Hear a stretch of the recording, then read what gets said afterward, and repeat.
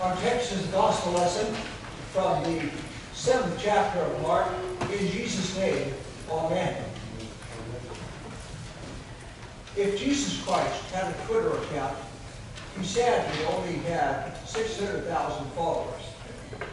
That's a drop in the bucket when you compare it to the over 100 million that Justin Bieber had.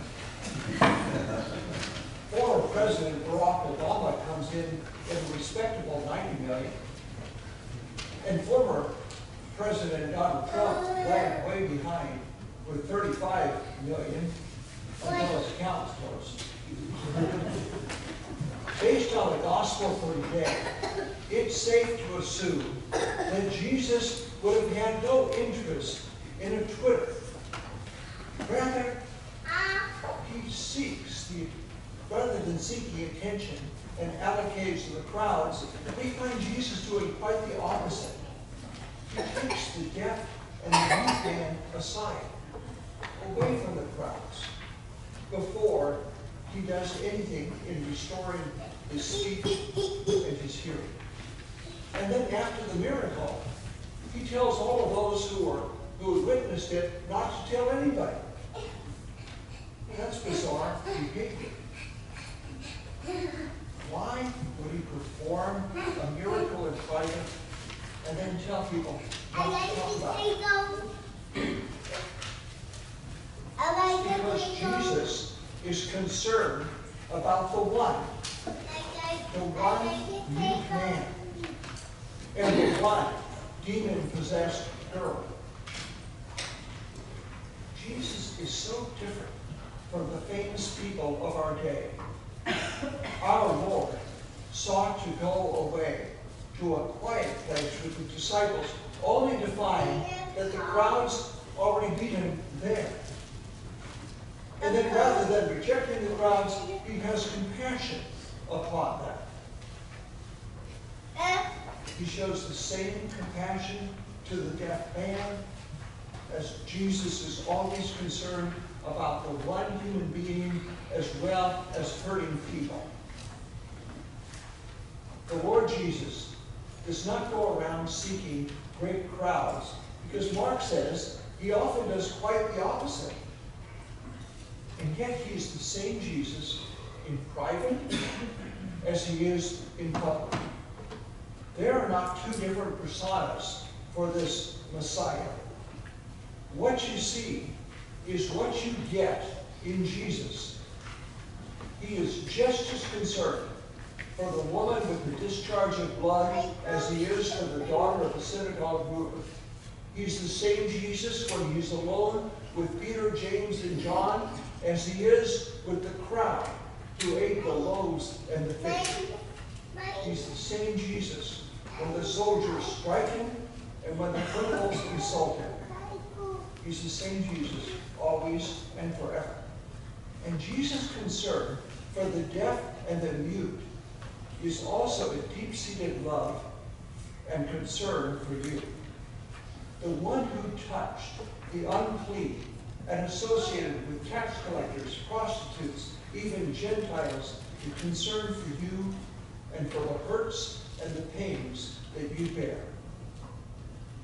The one who looked that deaf and mute man right in the eye and touched his finger to the man's tongue comes to you with his mercy to love and to forgive and to restore you.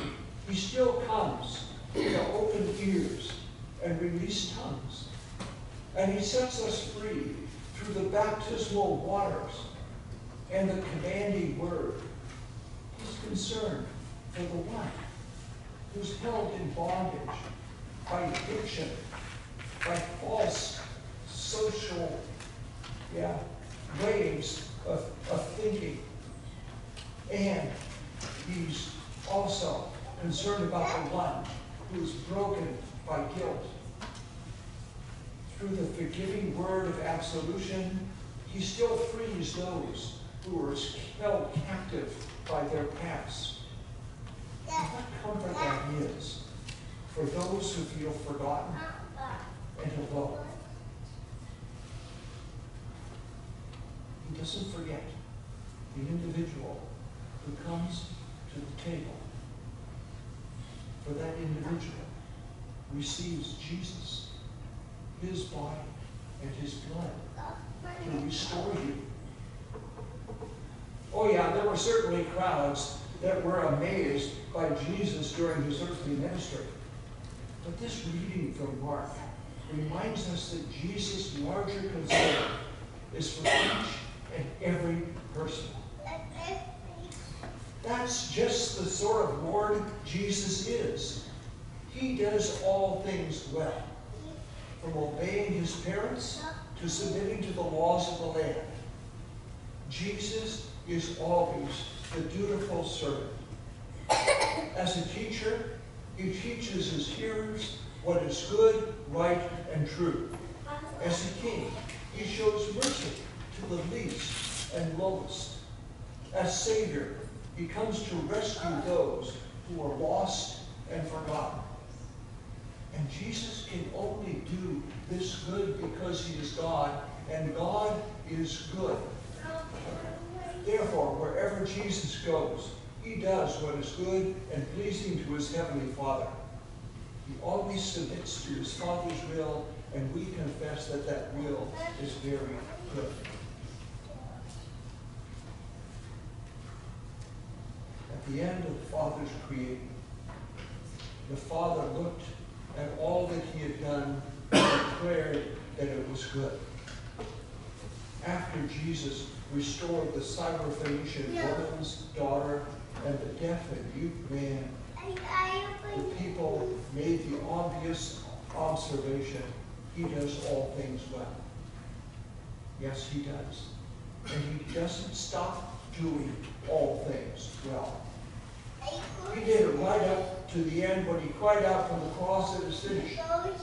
He had completed his work of recreation and looked over what he'd done and declared that his work was complete and that it was good.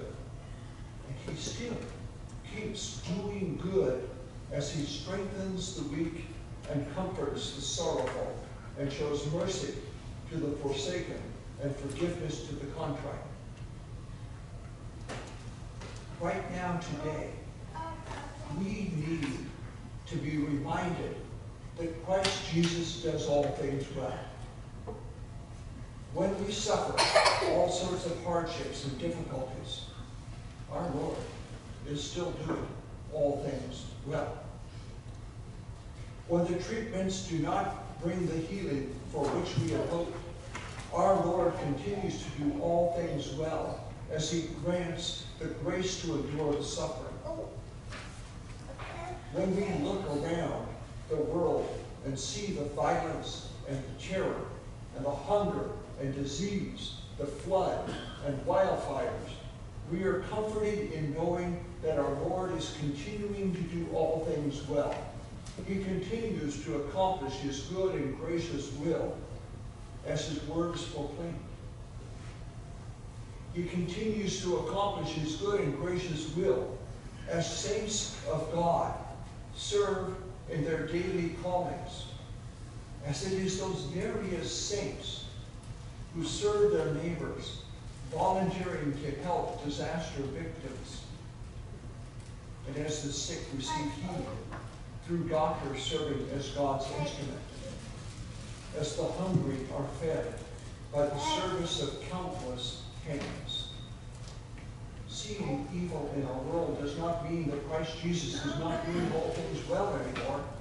On the contrary, in this evil world, he continues to break and hinder the plans of the devil and to, and to serve through his holy ones, however and wherever they serve, and usually without notice or fanfare. Jesus does. All things well, even when he shows us your sin and shows us your rebellion. He does all things well when you're called to repentance, and he forgives you all of your sins for the sake of his death on the cross. Our Lord Jesus Christ did all things well during his earthly ministry, and he continues to do all things well as his word is proclaimed, and as the church, his body, serves as his hands and his feet in the service of our world. As our Lord does all things well, he still shows care and concern for each person in need. Jesus does all things and does each person well. And this loving concern brings comfort and peace to each one of us as we endure the suffering in this world and as we look forward to Jesus' final good work of bringing us to the Father and the resurrection on the last day. In Jesus' name. Amen that the peace of God which passes all understanding will keep your hearts and minds in Christ Jesus our Lord. Amen.